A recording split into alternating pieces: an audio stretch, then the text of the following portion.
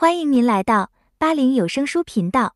今天很高兴为您分享《世界超级书籍股票作手回忆录》，是一本投资领域的传世经典书籍。作者：利菲弗 （Lefevre），译：利弗莫尔 （Livermore）。J。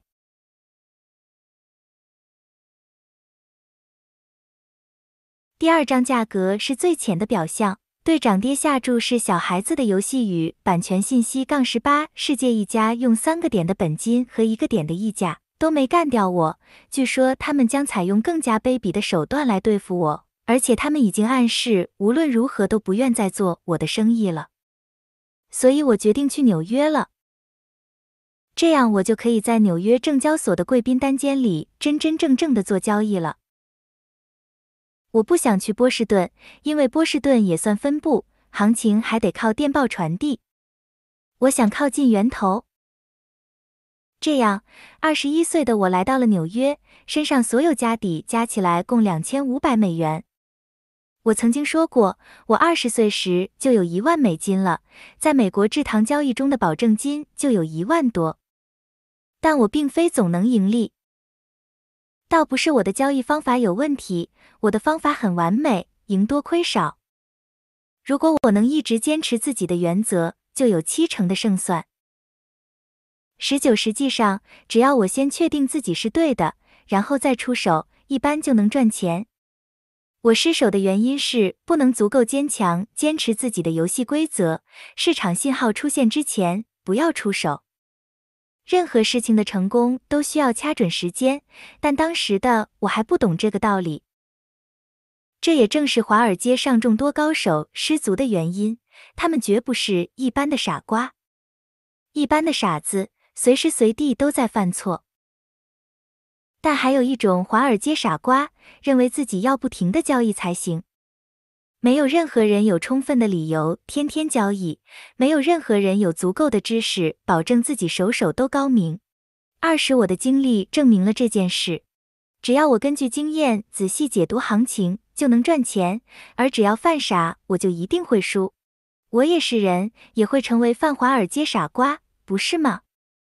在纽约证交所，巨大的报价板直勾勾地盯着我的脸，客户们忙着交易。眼看着手里的交易扇变成钞票或废纸，于是寻求刺激的欲望压倒了理智。在投机型，保证金有限制，玩不长，人很容易就会迅速出局。但在华尔街不一样，人们可以泡在股市。不过，股市背后的大环境、频繁的做操作，是华尔街上甚至大量专业人士失败的主要原因之一。他们把股票交易当成了一份有固定收入的工作，总觉得每天都该赚些钱回家。不过，请原谅我，当时我还小，并不懂得我后来学到的经验。那些经验让我在十五年后可以苦等两个星期，眼瞅着一只本来就看涨的股票上蹿零个点，才放心买进二十一。当时我钱紧，一心想东山再起，我输不起，所以玩不起鲁莽的游戏。我选择等待，因为我必须是对的。那是一九一五年发生的故事，但说来话长，咱们得另找个合适的地方再说。咱们还是言归正传，说说我在投机行赚了几年后，又眼瞅看着丢掉大部分战利品之后的故事。当然，投机行那几年也不是我干蠢事的唯一阶段。一个股票做手，必须战胜自己心中很多昂贵的敌人。总之，我揣着两千五百美元到了纽约。这里没有靠得住的投机型，证交所和警察局把他们关得不能再死了。而我也不想再在投机型做了，我只想找一个可以放开手脚大干一场的地方，除了本金之外，别无其他束缚。我本金确实不多，但觉得总有改变的一天。开始对我来说最重要的就是找一个可以不被黑的地方。于是我来到了证交所的一个会员公司，他在我的家乡也有分部，不过早就倒闭了。我还认识他们分部的几个职员。我没待多长时间，因为我不喜欢其中一个合伙人，于是我来到了艾德富勒屯公司。想必易德、富勒屯对我早年的战绩有所耳闻，因为他们很快就开始叫我的外号“少年杀手”。我长得年轻，到现在也还这样。这在某些方面不是好事，很多人都想占我的便宜，但这也让我学会了自强。在投机型的时候，那些人看我年轻，都认为我是个碰运气的傻子。不过这也是我为什么总能打败他们的原因。但是不到半年，我就破产了。我频繁的做交易，人们说我总能赚钱，我猜我的交易佣金可能都是一笔巨资了，也真的一度赚过不少钱，但最终还是输光了。我非常谨慎，却注定会输。我可以告诉你原因，之前在投机行里的教人成就注定了我会亏损。只有在投机行里，我那套交易方法才能赢，因为在投机型只是根据价格的涨跌下注，我只需要看行情就够了。我买进时，价格就在报价板上，就在我面前，甚至买进前我就知道自己的成交价，而且想卖立刻就能脱手。由于行动快，我总能成功切到头寸，瞬间套现或止损。比如有时候我确信一只股票会涨至少一个点，我不会让自己太贪婪，我会设定一个点的止盈点，翻倍买进，一眨眼就赚双倍的钱；或者我就设置半个点的止盈点，这样每天做一两百股，一个月下来也是笔不错的收入，对吧？当然，这套策略的现实问题就是没有太多的投机型能够承受这样稳定且巨大的损失。即使有这个能力，也不愿意承受。他们才不会允许一个品味如此之差的顾客在自己的店里天天老赢自己的钱。总之，投机行里那套完美的策略在富勒屯公司失灵了。在投机型，人们只是在模拟股票买卖；而在富勒屯，这是在真正的交易股票。当报价器显示美国制糖一百零五点时，我能预测它会跌三个点。但此时交易所场内的实际价格可能已经是一百零四或一百零三点了。当我发出放空一千股的交易委托去场内执行时，价格可能已经更低了。我不知道到底是在什么价位成交的那一千股，直到我从营业员那里拿到交易报告时才能知道。同样，这笔交易换在投机型，我肯定能赚三千美元。可到了证券公司，就一分钱也赚不到了。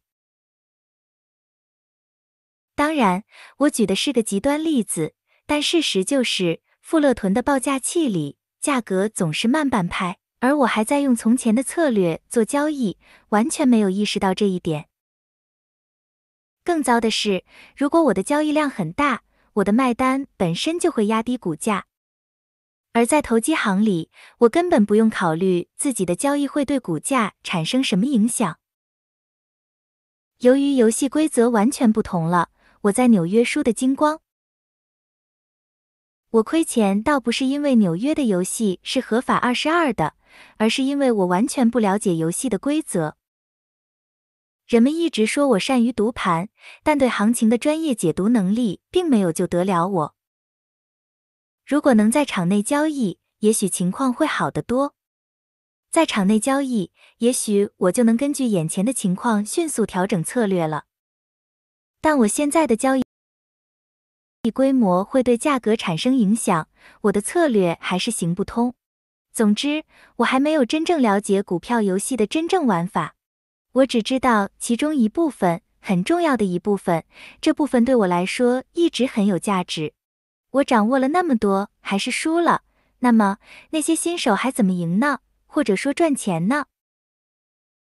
我很快就意识到自己的交易方式出了问题，但又不知道问题到底出在哪儿。我的交易策略有时会非常成功，但突然又连遭打击。但是别忘了，当时我只有二十二岁，不是我偏执，不想弄清问题所在，而是在那个年龄。没人懂得太多，公司里的人都对我很好。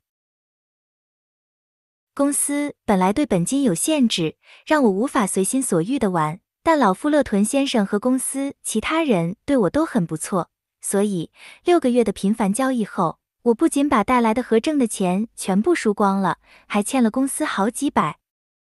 我这个第一次背井离乡的小毛孩，在纽约输了个精光。但我知道这不是我自己有什么问题，而是玩得出了问题。不知道我说明白了没？我从不抱怨市场，从不责备行情，责任永远不在市场。抱怨市场有百害而无一利。我着急重返交易，于是一分钟也没耽误，直接去找老富勒屯说：“我说，艾德，借我五百块吧。”干什么？他问。我急需用钱。干什么呢？他重复道：“当然是做保证金。”我回答。他皱起眉头，五百美元。你知道，保证金是百分之十，也就是一百股一千块二十三。你最好还是记账多拿些吧。我说不，我已经欠公司人情了，不想再记账了。我只想借五百块，出去转一圈就回来。你打算怎么赚？老富勒屯问。我会到投机行里去交易。我告诉他。在这儿做吧，他说。我说不在这里，我没把握一定能赢，但我确定在投机型可以赚钱。我了解那里的游戏规则，我感觉自己在这里的交易好像哪出了什么问题。他借给了我，我离开了富勒屯。在这里，我这个投机型的少年杀手输了所有的财富。我不能回老家，因为那里的投机型都不接我的生意。纽约也不行，因为这里没有投机型。有人告诉我，九十年代的宽街和新街有不少投机型，但我需要时，他们却已经消失了。经过一番思考，我决定去圣路易斯，据说那里有两家大投机型，生意很大，在整个中西部都有名。他们利润一定不错，因为在几十个城市都有分号。实际上，人们告诉我，没有任何东部投机型能在规模方面和他们相提并论。他们公开营业，最奉公守法的人也可以大摇大摆的在这里做。一个老兄甚至告诉我，其中一个老板是商会副主席，但不是圣路易斯商会。总之，我带着五百块去了那儿，想捞点本钱回到纽交所会员艾德富勒屯公司做保证金。到圣路易斯后，我先去了酒店梳洗一番后，就去找那两家公司，一家叫多兰公司，另一家是特勒公司。我知道自己可以打败他们，我一定要谨慎再谨慎，确保绝对安全。但我担心有人会认出我来，揭穿我的身份，因为全美国的投机型都听过少年杀手的名字。投机型就像赌场，专业玩家的故事会立刻传得到处都是。多兰公司比特勒公司近，所以我先去了那里。我希望能尽量不露声色，在他们把我赶走之前，尽量多做几天。我走了进来。交易厅大的惊人，至少有几百人在盯报价板。我心里窃喜，有这么一大群人做掩护，就不会有人注意到我了。我站着看了一会报价板，仔细看了一遍，选好了我要做的第一只股票。我环顾四周，看到交钱下单的窗口，下单员正在打量我。我走过去问：“这里是交易棉花和小麦的地方吗？”“是啊，哥们。”他说：“我也可以交易吗？只要你有钱。”他回答：“啊，我有啊，我有钱。”我说话的口气就像个吹牛的小伙。“你有？真的？”他笑着问。我装作气愤愤地问：“一百块能买多少股？如果你真有一百块，就能买一百块股。我有一百块，当然，我还有二百块呢。”我对他说：“哇，天啊！”他说：“那你给我买二百的吧。”我大声说：“买二百的什么？”他问，不再嬉皮笑脸，因为现在是生意了。我又看了看报价板，装出使劲动脑筋猜的样子，告诉他说买二百股奥马哈。好的，他说。他收了钱，清点后给我开了单。怎么称呼？他问。赫拉斯·肯特。我说。他把单子递给我，我走开，坐在顾客中间，等着股价上涨。我操作迅速，当天就做了好几笔交易，第二天照旧。两天，我共盈利两千八百块，心里暗自祈祷他们能让我在这里做够一个星期。照我的速度，一周的战绩将很不错，然后我就可以再去另一家。如果运气好，就能再做一周，我就可以攒点本钱回纽约了。第三天早上，我羞怯地走向窗口，要买五百股 BRT。营业员对我说：“我说，肯特先生，我们老板想见见你。”我心里明白游戏结束了，但我还是问他：“他见我干啥？”我不知道，他在哪？在他的办公室，从那边进去。他指着门说：“我走了进去。”多兰坐在办公桌后面，他转过身来，指着一把椅子对我说：“请坐，利文斯顿。”最后一线希望破灭了。我不知道他是怎么发现我的身份的，也许是他查了酒店的入住登记簿。您为什么要见我？我问。听着，小伙子，我不想和你过不去，明白吗？一点也不想，明白吗？不，我不明白。我说。他从转椅上站起来，一个超级大块头。他对我说：“你过来一下，利文斯顿，过来吧。”他边说边走向门口，打开门，指着交易厅里的客户问我：“你看见了吗？看见什么？那些人？看看他们，小伙子，那里有三百个人，三百个蠢货。他们养活我和我的家人，懂吗？三百个蠢货。但是你来了，两天就赚了我两周才能从他们身上切的头寸。生意不是这么做的，小伙子。”这对我不太公平，我不想和你过不去。你已经拿走的钱，我就不追究了。但你不能再这么干了，这里的钱不是给你准备的。啊，我就这样吧。前天见你进来，我当时就看你不顺眼。坦白的说，真的很讨厌。我一眼就发现你不是善茬，于是我把那个蠢驴叫来，他指着那个犯错的营业员继续说。问他你都干了什么？他描述了一番，然后我对他说：“我不喜欢那家伙的样子，他不是好人。”可那个蠢货却说：“不是好人，不会的，老板。”他叫赫拉斯·肯特，只是个想玩成人游戏的小毛孩，他没事的。好吧，我没再理他，就由着他了。但结果这个白纸一样的白痴让我赔了两千八百美元，小伙子。我不怪你，但是现在我的保险箱已经锁上了。听我说，我说，你听我说，利文斯顿。他说：“我知道你的底细，我靠切傻瓜的赌资谋生，但你不属于这里。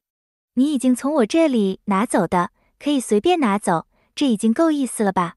但我不蠢，既然我已经知道你是谁了，你就快滚吧，小子。”就这样，拿着在多兰公司赚的两千八百块，我离开了那里。特勒公司就在同一条街上。我早知道特勒富的流油，除了投机型，还开了好几家赌场。我决定去他的投机型。我在考虑怎么做才算明智：是先谨慎出手，慢慢加大到每笔一千股，还是干脆上来就大干一场？因为我可能只有一天的交易时间。他们一发现赔钱就会迅速变得聪明，但我很想买一千股 BRT，因为我确定可以赚四至五个点的利润。而一旦他们起疑，或者太多客户都在做多，他们可能根本不让我交易。经过考虑，我觉得还是别那么猛，先小手笔的分散交易比较稳妥。特勒公司的交易厅没有多兰的那么大，但设备更高级，而且很明显，这里的客人都要高级一些。这简直就是为我量身打造的，所以我决定买一千股 BRT。于是我走到下单窗口，对营业员说：“我想买 BRT，限额多少？”没有限额。营业员说：“只要你有钱，想买多少都行。”买一千五百股。我边说边从兜里掏出一大卷钞票，营业员开始开单。这时，我瞥见一个红头发的男人一把把营业员从柜台边搡开，他靠在柜台上对我说：“我说利文斯顿，你回多兰公司去吧，我们不接你的生意。”等会，我还没拿到买单呢。我说：“我刚买了点 B 二 T，你没有在这里下单。”他说。这时，其他营业员开始聚在他身后，一起瞪着我。不要再踏进这里的门，我们不做你的生意，听明白了没？抓狂和争辩都毫无意义。我只好回到酒店，付清账单，赶最早一班火车回到了纽约。真坎坷！我本想多赚点，可特勒公司居然一笔都不让我做。回到纽约，还了富勒屯那五百块，我开始重新交易。本金就是在圣路易斯赚来的那笔钱。运气时好时坏，但总体略有盈余。毕竟我脑子里没有太多需要去除的错误信念，我只要抓住一点就好。富勒屯公司的股票投机游戏比我原想的要复杂的多。填字游戏的脑残粉，如果做不出周末报纸增刊上的填字游戏，是绝不会罢休的。我也一样。我当然想找到我的字谜的答案。我认为自己这辈子再也不会回头畸形了，但我错了。回到纽约数月后，一天来了一个老赌客，他认识富勒屯，有人说他们曾共同拥有一群赛马。很明显，他也有过好日子。经人介绍，我认识了老麦克德维特。当时他正在给一群听众讲西部赛马场上的一个个老骗子。不久前还有个人在圣路易斯搞了一把。他说，骗子头是个赌场老板，叫特勒。哪个特勒？我问他。个子高高的特勒，H.S. 特勒。我认识那个鸟人。我说，他不是个好鸟。麦克德维特说，简直是个烂鸟。我说，我还要找他算账呢。怎么算？教训他这种矬人，唯一的办法就是打击他们的账本。前两天在圣路易斯，我治得了他，但总有一天我会找他算账的。于是我把自己的委屈都告诉了他。啊，老麦克说，他曾想在纽约这里开盘店，没做成，所以在霍伯肯开了个分号。有消息说那里没有交易限额，所以玩一圈就能让直布罗陀巨石输成跳蚤的小影子。那是家什么店？我以为他说的是赌场，投机型。麦克说：“你确定他开门营业？”没错，几个人都亲口跟我说过。那只是道听途说。我说：“你能不能去确认一下，他是不是真的营业？还有他们允许的最高限额？”好吧，孩子。他说：“我明天一早就亲自跑一趟，回来给你消息。”他去了。特雷的生意好像做得很大，猛吸金。那天是周五，整整一周，市场都在上扬。别忘了，那是二十年前。周六的银行报告常说又大幅降低银行准备金了，这是个常识。大炒家们一般都会知道这是进场的好机会，可以从实力不足的小投机客那里挤钱出来。在交易的最后半个小时里。股票一般都会出现回荡，尤其是那些股民最看好、最活跃的个股。这些个股当然正是特勒公司的股民都大量压住做多的个股。投机型非常高兴看到有人做空这些股票，因为保证金是一个点，股价的回踩一把就可以洗掉所有人。只要欺负超过一个点，不管傻瓜们是做多还是做空，两头都是死路一条。周六一早，我就赶到了霍伯肯市的特勒分号。宽敞的交易厅里，新安了一块华丽的报价板，外加一大群营业员和穿灰制服的保安。当时交易厅里有大约二十五个客人。我找到经理开聊，他问我有什么可以效劳，我也没说什么，只是说在马场上人们可以凭运气赚很多钱，还可以倾囊而出，站着等一分钟就赢几千美元。但在股市里只能赚小钱，可能还要等好几天。一听这话，他开始劝我说，股市比赌马要安全的多。他的一些客户赚了多少多少。他说的天花乱坠，你简直可以完全相信。他们做的是正经生意。真有一个正规的经纪人在证交所场内为你交易股票，而且只要买卖做得大，赚到的利润可以满足任何人。他一定以为我正在赶去赌马，所以急切的想吞一点我的赌本，趁我把钱都输在赌马上之前，先让他赚一点。他劝我赶紧进场，因为周六股市十二点就收盘了，这样我就还有一个下午的时间去做别的消遣。如果我选对了股票，没准还能多带点钱去马场呢。我装出不太信他的样子，他就不停的絮絮叨叨。我看了看挂钟，到十一点十五分时，我说好吧，然后给了他两千块现金，让他帮我做空几只股票。他很高兴的收下了。他告诉我，他认为我能大赚，并希望我常来光临。股价的走势正如我所料。场内交易员开始打压那些他们认为可以使其阶段性下跌的股票，自然价格迅速下滑。通常在最后五分钟，场内交易员又会习惯性的回补，价格就会随之反弹。而我那时已经平仓，一把赚了五千一百块。我去了结头寸，真庆幸我来了贵公司。我对经理说：“把交易单递给他。”我说，他对我说，我一时不能全兑给你。我没想到你能赚这么多，周一上午我一定给你准备好，保证不会有问题。好的，但你现在有多少，要先全兑给我。我说，你最好让我先兑给那些小客户。他说，等我了结了其他客户的交易单，我会把你的本金和剩下的钱都留给你。于是我等着他给其他赢家付钱。我知道自己的钱很安全，这里生意这么好，特勒不会赖账的。即使他赖账，我也能拿走当场所有的钱，只能这么干了。我拿回了自己的两千块本金和营业厅里剩下的八百多块，然后和经理说我周一早上会再来。他发誓到时一定把钱准备好了。周一我到了霍伯肯。这时刚不到十二点，我看见一个熟悉的人影在跟经理说话。在圣路易斯，当特勒公司叫我回多兰公司那天，我见过这个人。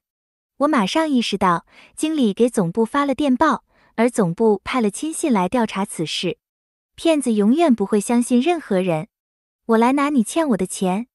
我对经理说：“是这个人吗？”从圣路易斯来的家伙问。是的，经理边说边从兜里掏出一捆钞票。等一下，圣路易斯人对经理说，然后转向我。我说：“利文斯顿，我们不是说过不接你的生意吗？先把我的钱给我。”我对经理说。他用两根手指插出两张一千块、四张五百块和三张一百块。你刚说什么？我问圣路易斯人。我们说过。我们不让你在我们的地盘交易。是的，我说，所以我才来这儿。哼，不许再来，滚得远远的！他对我吼道。穿着灰色制服的保安走了过来，看似漫不经心的。圣路易斯人对经理挥了挥拳头，嚷道：“蠢货，你早该知道，绝对不能让这个人进来。他是利文斯顿，你接到过命令的。”你听着，我对圣路易斯人说：“这里不是圣路易斯，你的老板可以对付外行小毛孩，但在这里你耍不了花招，滚得远远的！你不能在这里交易。”他喊道。“如果我不能做，别人也甭想做。”我告诉他，在这个地方拒绝客户可没好下场。一听这话，圣路易斯人马上变了语气：“你看，老兄。”他焦虑地说。帮帮忙吧，讲讲道理。如果你天天这么干，我们真的受不了，你懂的。如果老特勒知道是你，一定会把房顶掀了。发发善心吧，利文斯顿。我会小心的，不让你们老板知道。我答应他，你就听我的吧，行不行？看在老天的份上，离开吧。我们出来混口饭吃也不容易，我们也是新来的，刚开始不容易，别让我们开门黑，行不行？下次再来的时候，我可不想再看到你们这副趾高气扬的态度。说完，我转身离开，而他则滔滔不绝地呵斥经理，因为他们在圣路易斯对我不好，所以我才这样从他们身上搞钱，没必要闹僵或把他们的生意搞砸。